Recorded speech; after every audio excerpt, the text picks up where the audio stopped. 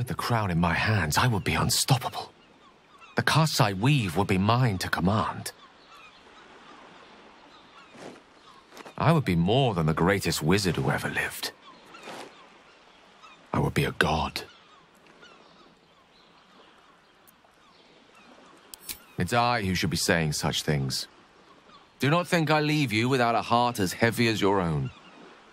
I owe it to myself to follow where destiny leads. I'll never forget you. That I promise. And if you ever felt differently, there'll be a place waiting for you in the heavens.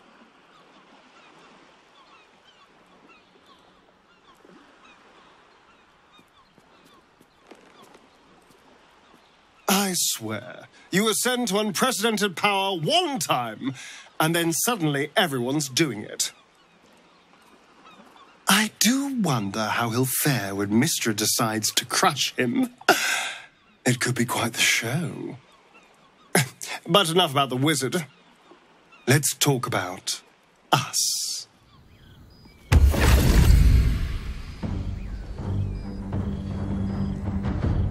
I owe you a debt of gratitude. It is thanks to you that Gale, the wizard of Waterdeep, became Dekarios the Divine, god of ambition.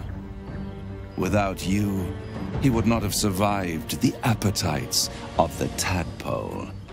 It would have feasted on that impressive mind of his, and all of his talent would have been snuffed out forever.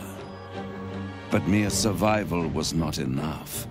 Not for Gale, and not for you.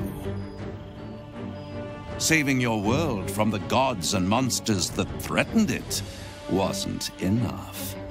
Gale wanted more, and you encouraged him to ignore every sensible instinct, to ignore the lesson of Karsus's folly, and to reach for the heavens. You were the spark that rekindled Gale's hubris and set him on a course that will make Celestia quake. I longed for the crown to satisfy my own ambitions, and I was furious that it had escaped me again. But I have assessed the situation pondered every variable, plotted every possible course.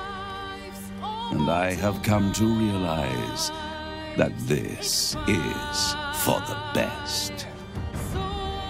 In time, long after you're gone, Gale Dekarios will cause such division and chaos in these realms that even the lords of the hells will be aghast to see it. Ambition. Such a delicious sin for mortal kind to indulge in. Such a dreadful weapon for an immortal to wield. The gods will be sundered, and from their ruin I will rise.